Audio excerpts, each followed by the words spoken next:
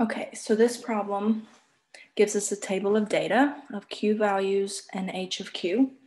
And then it says to estimate H prime of 2.7 using the table above.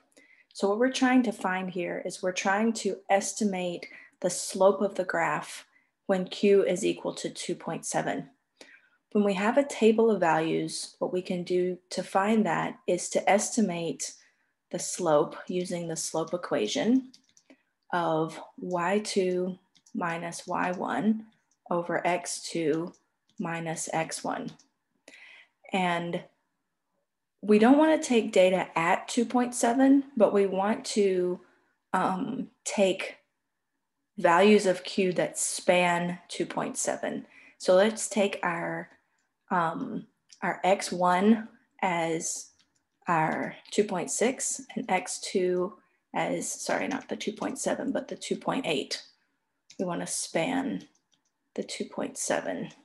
So that would make the y1 would be the, eight, the 1813 and the y2 would be the 2704. So plugging in this data into our slope equation gives 2704 minus 1813 over x2 is 2.8 minus x1 is 2.6. So then simplifying this data,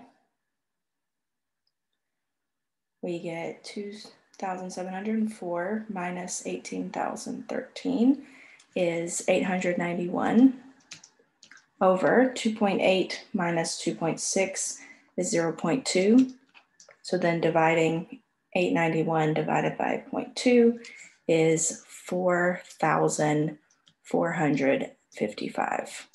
So that would be our estimate of the derivative at 2.7 using a slope method to estimate.